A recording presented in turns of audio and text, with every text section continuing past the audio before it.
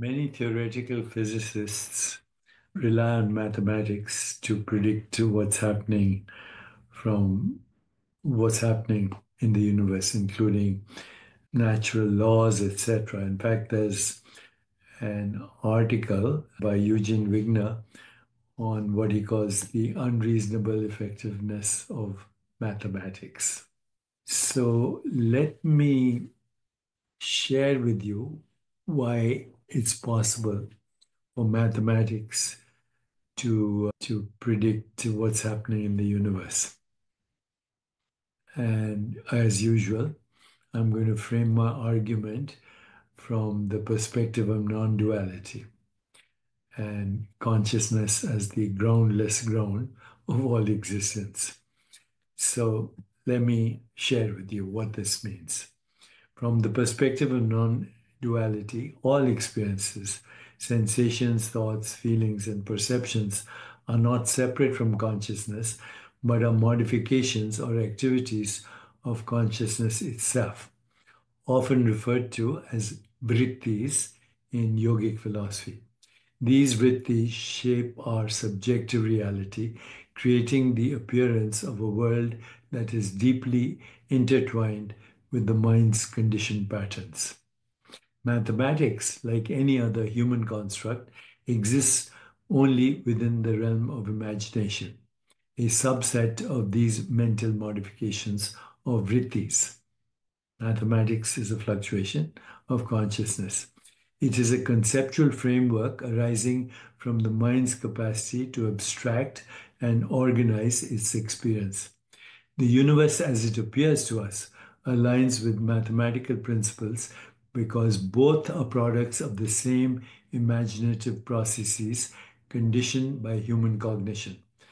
This is not to say that the universe is, is unreal, although it is, it appears real. But its form that appears is inseparable from the way con consciousness manifests itself. The universe is real as an experience. Your body is real as an experience. But fundamentally, it is a projection of consciousness. So the scientific universe is not really an objective reality existing independently of observation. Instead, it is a projection of the human mind's ability and its faculties of interpretation. Just as dream waves arise within and as part of a dreamer's mind, the universe we perceive emerges within as part of consciousness. The separation between the observer and the observed dissolves in this view.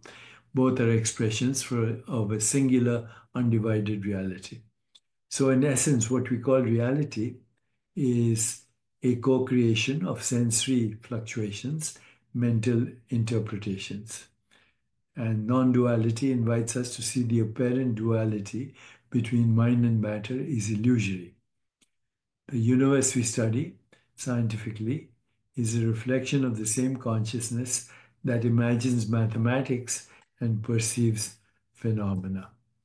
So, mathematical truths are actually projections of consciousness. So is the appearance of the universe. Okay, they don't exist independently in a separate objective realm. And so when I say, look at everything as an undivided whole, and all phenomena, aspects of that undivided whole, and that includes mathematics. They are expressions of a seamless universe, a unity. Mathematical truths are seen as conceptual frameworks created by the mind to interpret and organize experience, not an external, not as external absolutes existing outside of consciousness.